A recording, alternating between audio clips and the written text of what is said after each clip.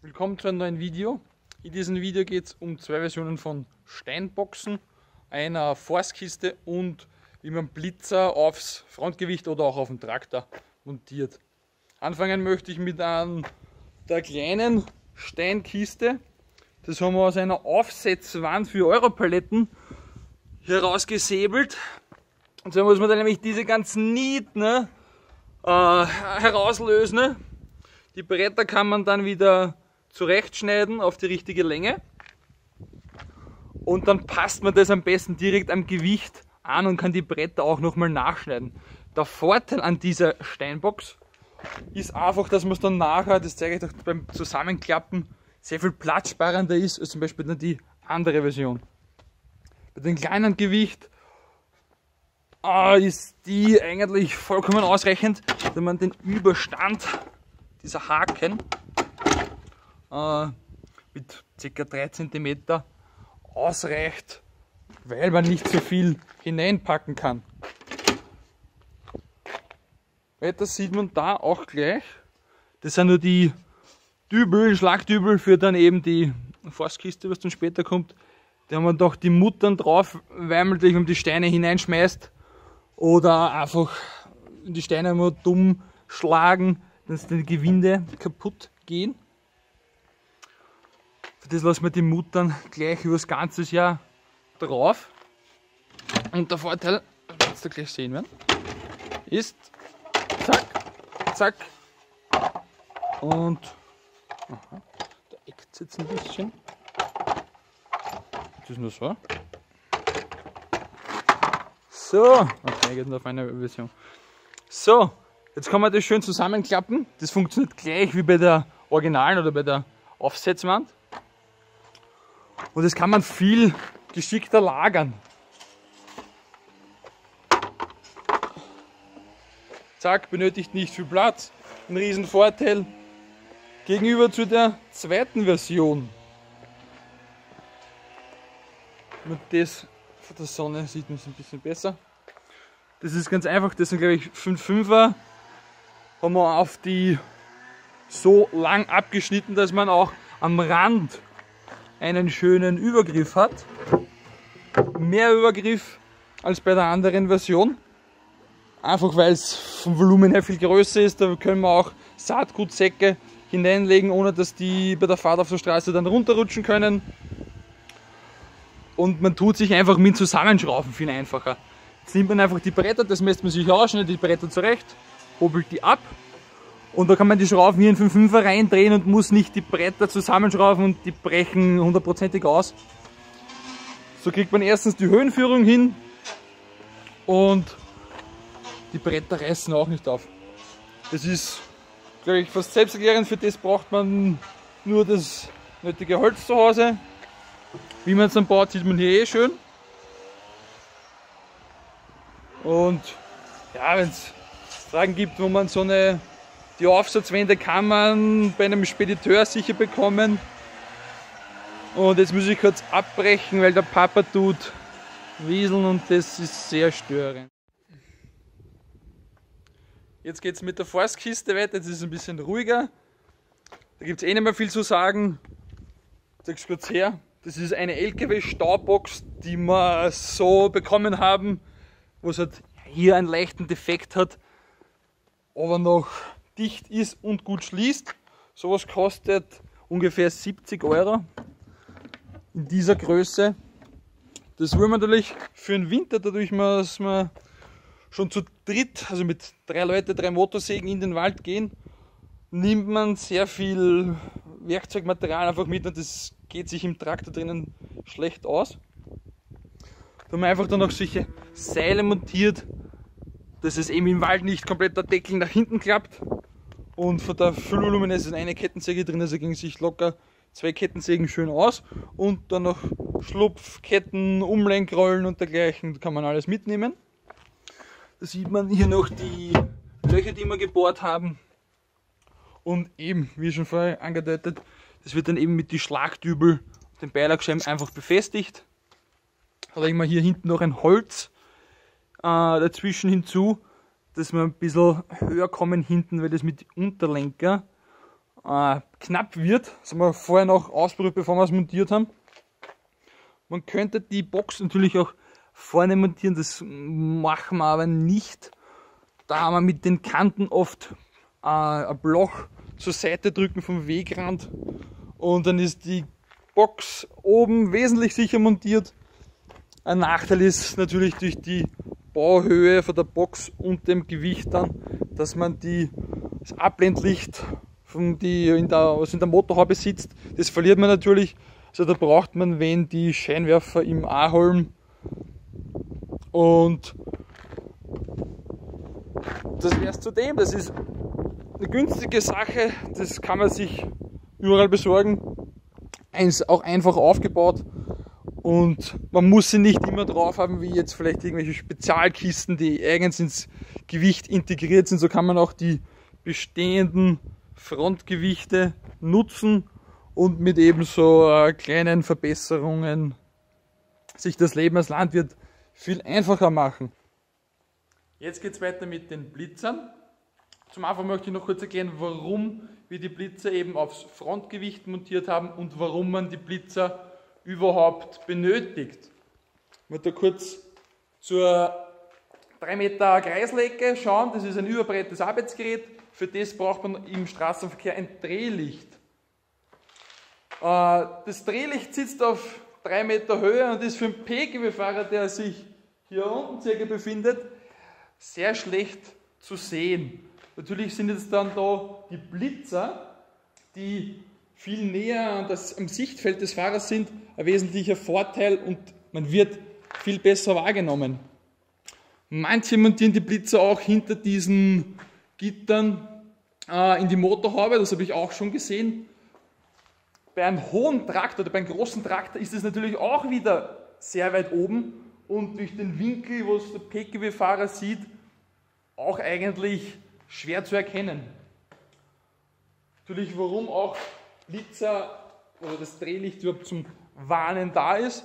Vorne ist der Traktor sehr schmal, hinten schaut dann das 3 Meter Arbeitsgerät heraus und der Pkw-Fahrer hat meistens keine Ahnung, was für eine Gefahr jetzt da eigentlich lauert, wenn man mit so einem Gerät auf der Straße daherkommt. Ähm, langsamer Fahren in solchen Situationen ist natürlich immer vom Traktorfahrer eine Pflicht, dass man da einfach auch selber die Gefahr minimiert.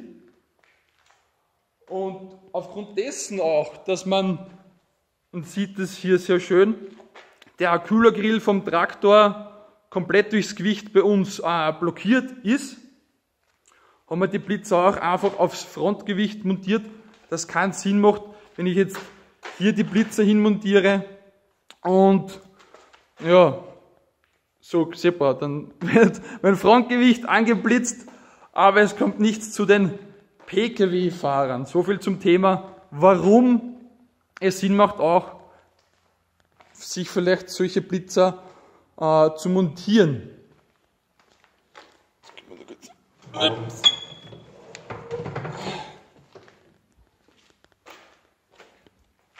Anfange natürlich an der Front jetzt mit dem Aufbau vom Ganzen. Und zwar gleich bei den Blitzern. Das sind sehr flache Blitzer, von der Intensität sehr stark. Einer kostet 40 Euro. Das würde es geben in einer 3 LED-Version, in der 4 LED-Version, wie wir es hier haben, und auch in 6, mit 6 LEDs. Und der Vorteil ist an denen, die haben 5 Kabel. Die Funktion von allen 5 Kabeln gleich noch später. Die Kabel sind original nur 15 äh, cm lang, sprich man braucht Verlängerungskabel.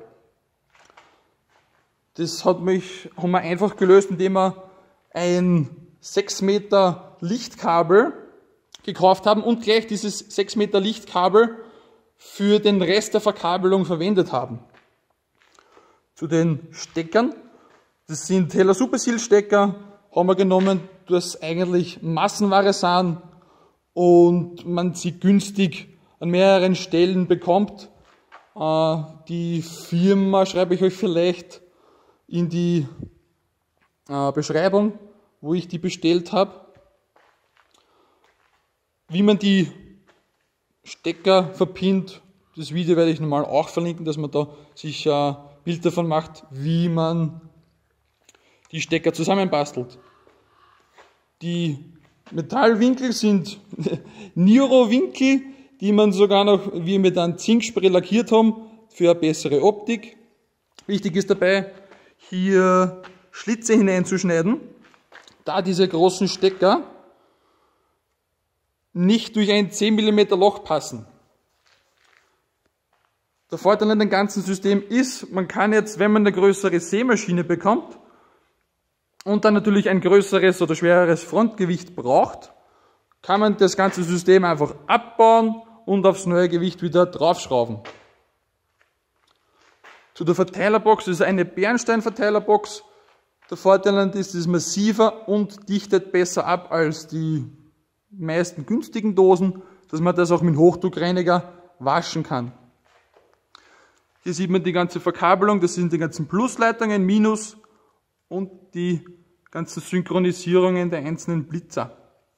Der Vorteil ist, wenn man teurere Blitzer kauft, mit, die synchronisierbar sind, ist, ich habe da aus der Plusleitung eben die blaue Leitung herausgenommen und wenn ich dieses Plus mit dem gelben Kabel verbinde, das ist die Umschaltleitung für den ersten Blitzer, dann kann ich die Blitzmuster aller vier Blitzer mit einem Kontakt mit einmal verbinden, umschalten. Und zum Synchronisieren vielleicht noch kurz laut äh, Straßenverkehrsordnung müssen immer zwei und zwei Blitzer synchronisiert sein. Man könnte sogar, glaube ich, die oberen zwei und die unteren zwei in einem unterschiedlichen Blitzmuster laufen lassen, nur eben oberen zwei synchron und diese zwei synchron. Haben die Blitze die Funktion zum Synchronisieren gar nicht, dürfte man sie auch nicht verwenden im Straßenverkehr. Das Kabel ist siebenpolig. Ich habe auch alle sieben Pole da drinnen. Würde man jetzt theoretisch noch ein Begrenzungslicht aufbauen oder Blinker aufbauen wollen, könnte man einfach eine größere Box nehmen und noch zusätzlich das Ganze aufbauen. Das ist ein Gewicht, was man privat hat, meistens uninteressant. Also man soll, jeder kennt den Agri-Bumper, wo es eben der Unterfahrschutz ist für die Traktorvorderseite.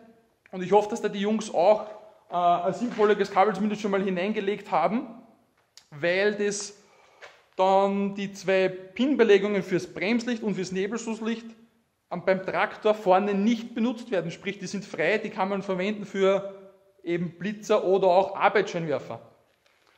Und es ist von der Traktorseite ja nicht vorgesehen, dass man da ein Drehlicht dazuschalten kann. Das kommt dann jetzt dann gleich, wie man das Kabel dorthin verlegt, wie das auch bei modernen Traktoren funktioniert mit Steuergeräten und so, das kommt dann gleich. Aber im Agribabahn könnte man auch Blitzer aufbauen und es ist hoffentlich eine Verteilertose schon vorhanden, wo man dann mit die Blitzer auch hineingehen kann und dann nur mal vom Traktorseitig aus das Signal fürs Drehlicht braucht. Es ist keine gute Idee, die Blitze einfach aufs Begrenzungslicht zu hängen. Weil ich jetzt am Feld mit meiner Arbeit schon verfahre in der Nacht und natürlich das Begrenzungslicht mit aufdrehen muss, laufen am Feld ganze Zeit die Blitze mit. Auch wenn ich auf der Straße nur am Tag oder am Abend mit Abblendlicht fahren möchte, dann muss man sowieso stecken. Aber das kommt dann später. Aber auf alle Fälle das symbolische Kabel, oder ich zeige kurz her, wie das gelöst ist. Ich hoffe, kommt man da. Äh, es geht sich mit der Kamera schlecht Ah, da sieht man es. So, wir kommen jetzt. Da sieht man schlecht. Äh, das zweite Kabel, hier sieht man das. Nö. Unten, na, oh ja doch. Zwei Kabel kommen rauf. Eines ist schon das Originale fürs Licht und das zweite äh, kommt von uns, was wir selber eingebaut haben. Das nimmt das Licht mit. Das Kabel geht äh, hier rüber und da hinten entlang und dann da oben hoch und in diesen Holm hinauf und da hinten oben, da sitzt das Lichtsteuergerät vom 6R. Ist jetzt bei jedem, ist ein John Deere, aber bei jedem Traktor, bei jedem Hersteller ist das jetzt anders. Ich erkläre es mal kurz beim John Deere. Der hat eben da oben ein Lichtsteuergerät, das die komplette Beleuchtungsanlage steuert. Und natürlich muss man den Strom von dort oben herholen, weil der kleine Schalter in der Bedienungs Bedienungsleiste nur ein Signalschalter ist, das, das zum Steuergerät weiß, Drehlicht einschalten. Das Drehlicht, das Kabel fürs Drehlicht geht nämlich an der linken Seite zurück an der Heckscheibe entlang und geht dann wieder da vorne hinein. Es ist auch möglich, das Kabel hier am A-Holm hoch zu verlegen und gleich darüber am Drehlicht anzuschließen. Wir haben das so gelöst, dass man das Kabel am Steuergerät selber gleich angeschlossen haben, weil wenn ein Problem auftreten sollte, kann ich den Radio ausbauen und komme zu dieser Steckverbindung hin, wo eben der Strom fürs, für die Blitzer abgenommen wird. Und bei anderen Herstellern ist es jetzt so, da kann man das theoretisch auch direkt vom Stecker abnehmen. Ähm, ein, Fendt, ein neuer hat sicher auch schon ein Lichtsteuergerät drinnen. Ist auch die Frage dann, wo sitzt das? Ist es einfacher, gleich direkt wieder am Drehlicht selber den Strom abzuzweigen? Es ist dann jeden ein bisschen selbst überlassen, der muss er dann ein bisschen hineinfinden, was ist die einfachste Lösung für meinen Traktor. Aber es ist jetzt nicht kompliziert, das macht man einmal, das Kabel hineinverlegen, das Kabel haben wir auf den Bremsleuchtenpin eben in der Lichtsteckdose angeschlossen und von dort ziehen wir eben den Strom für die Blitzer und können das direkt mit dem Drehlicht mitschalten. So, ich hoffe, da war jetzt alles drin, was man wissen sollte, wissen muss. Und jetzt gibt es natürlich auch noch das Wichtigste, wie sieht das Ganze aus, wie funktioniert die Blitz in Action und jetzt machen wir einen hoffentlich schönen Swipe und dann gibt es eine Tag- und Nachtansicht von den Blitzern. Im Video wirkt das am Tag etwas, ja, schwächer, als es im Tag richtig wirkt fürs Auge. In der Nacht ist es für die Kamera genauso stark fürs Auge, also bei finsterster Nacht und bei guten Blitzern dann doch aussteigen, das vorne abstecken, weil um 10 Uhr abends mit diesen Blitzern unterwegs zu sein, ist keine gute Idee. Also hier kommt der Swipe und viel Spaß beim Anschauen und danke fürs Zusehen.